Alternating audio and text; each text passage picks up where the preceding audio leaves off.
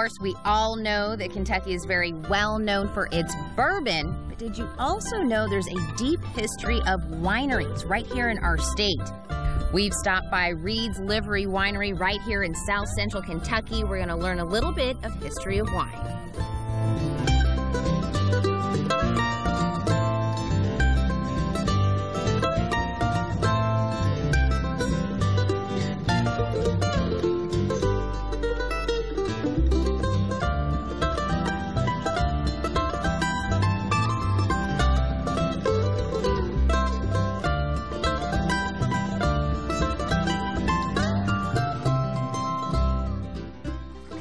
All right, Rex, today we are going to let some people know some little known secrets about some wineries here in Kentucky. Uh, I got a chance to talk with you, and you were telling me some pretty interesting facts about wineries here. Well, one thing that a lot of people don't know is that Kentucky has the first commercial winery in the United States. It was established in 1798 in what is now Jessamine County, Kentucky, on the banks of the Kentucky River.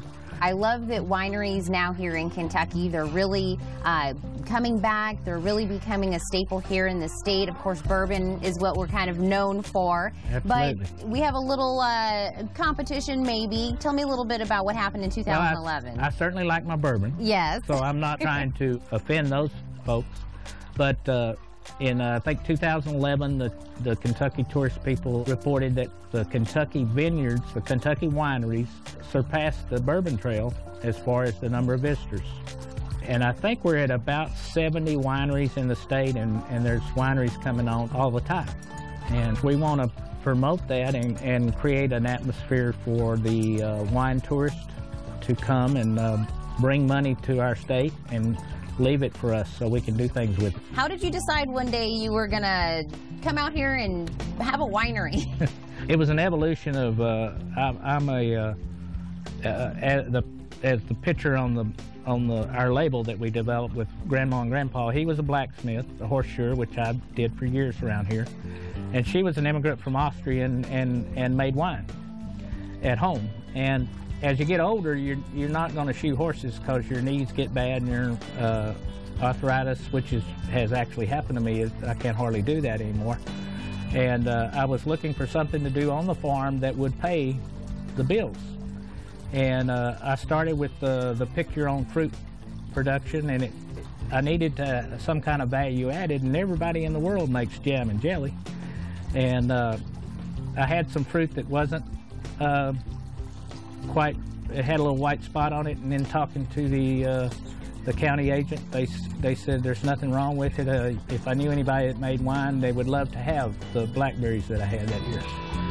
And a little light went off, and I said, well, I can probably do that. And I went to Barnes and Noble and got a book, and I made wine for several years and gave it to our horse uh, customers in our horse business for Christmas gifts. I didn't know what kind of reception I was going to get when I asked people to pay for it instead of me giving it to Yeah. them, but it's worked out pretty well so far. and so how, how long has the winery been here?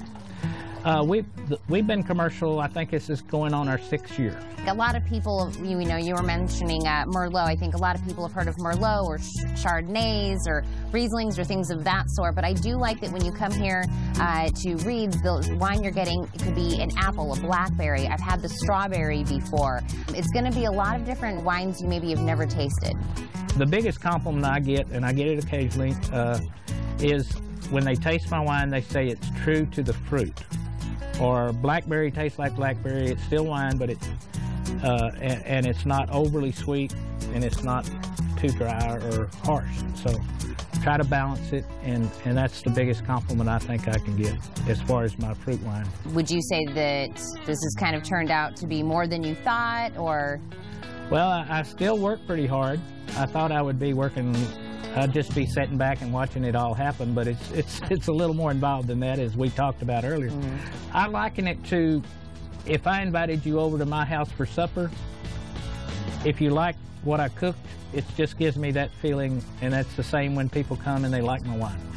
you, get know, that same feeling? I get, you know, I feel good about producing something that people enjoy.